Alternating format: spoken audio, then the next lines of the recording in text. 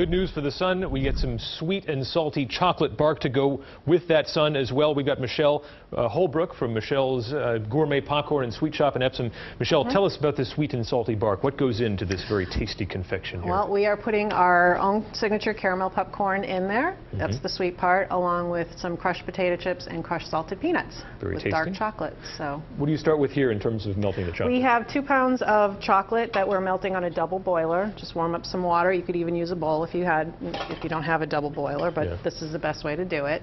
So what I've done is I've taken like a cookie sheet Mm-hmm. and I've lined it with wax paper with a, a little bit of an overhang on each side because you are going to need to lift it out of the pan after. Uh-huh. Um, I've already taken the time to crush everything up, but you don't want to like make it crumbs. You just want it to kind of be. Do you use your hands or do you use a... Um, I have a little meat mallet, meat tenderizer Ah. um, is what I use, but I suppose you could use your hands or a rolling pin. Right. Um, and we're just going to sprinkle this in the pan. So it's about two ounces of, of every other ingredient. You Mm-hmm. could do less, you could do more. Depending on sweet versus salty, right? Correct. To your taste. Exactly. But you definitely need the two pounds of chocolate for this size um, cookie sheet. Mm-hmm. Um, and then once you have the chocolate completely melted, and your items are already in there, and you could do lots of different ingredients. I mean, you could put chocolate chips and M&Ms, whatever your Mm-hmm. heart desires. Um, and then we are going to just pour it into the pan.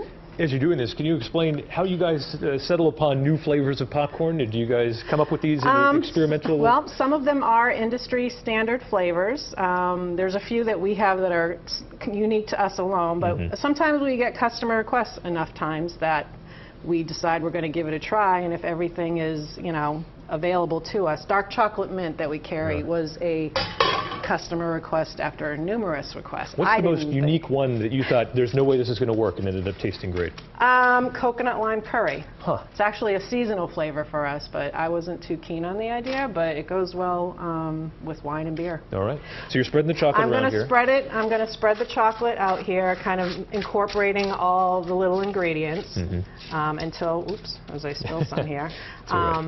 until everything's covered, basically, is what you're going to do. Just keep spreading it to the side, because it won't set up immediately. Mm-hmm. Yep. And I'll move this off to the side, Yep, just so you can see it. This is going to be the... This is got this. Yeah, thank you. The finished product here. this is the finished product. So basically, once you've spread it all out, you don't have to refrigerate it or anything, unless you want to and you're in a hurry, you want to eat it. But um, you're just going to lift it out of the pan, Mm-hmm. and then you would, you know, pull off the wax paper, because nobody wants to eat wax paper. and then basically, you're just going to break it up into pieces. Looks fantastic. Now, I would use, you know, gloves, but Yeah. and this is what it looks like once you're finished. Very so you- tasty. Great right. for gifting. Here in Epsom, and we'll see you at the Made in New Hampshire Expo as well. Yes. Thanks, Michele. Thank you. We'll be right back.